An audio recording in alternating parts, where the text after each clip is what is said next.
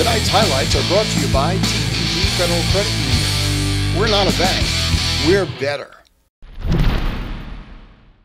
You know, a couple of nights ago, I asked Manny Blanco why the Spackenkill program has been so strong over the years, and what he attributed it to was the fact that the program has only had three coaches throughout its life Dom DiLorenzo, Tony Kutch, and now Manny Blanco for the last 13 years. But you got to figure that the players have to be committed throughout the process, and that's what Spackenkill has. They're up against Red Hook, who also has a couple of key players that they're going to have to watch out for, and this should be a pretty good matchup here for the MHAL Championship. Let's see how it goes.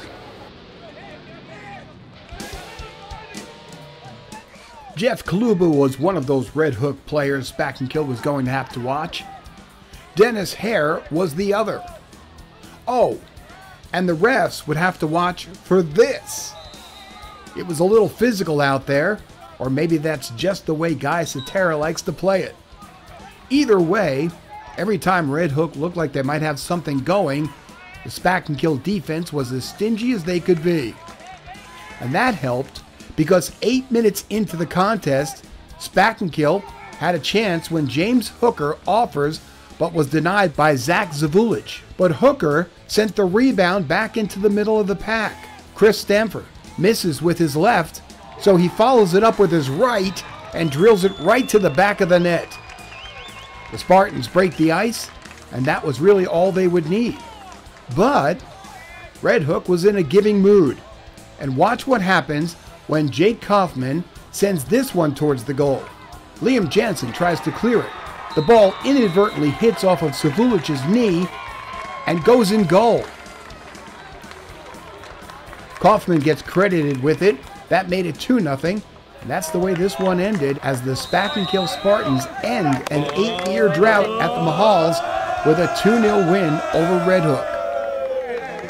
We scored that first goal in about the, in first eight minutes of the game.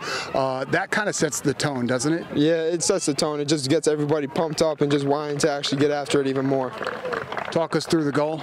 Um, ball fell to me, top of the box. The first chance, I kind of whiffed it. It fell to my right foot, and I just saw an open slot and just passed it in.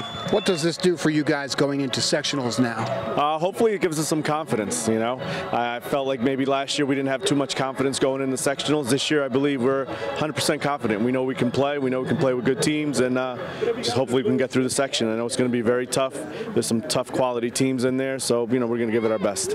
Last year was an early exit. Um, is that on these guys' minds? Yeah, it's pretty much the same group of kids. So uh, you know, hopefully they grew from that and learned from that, and uh, we'll find out next week.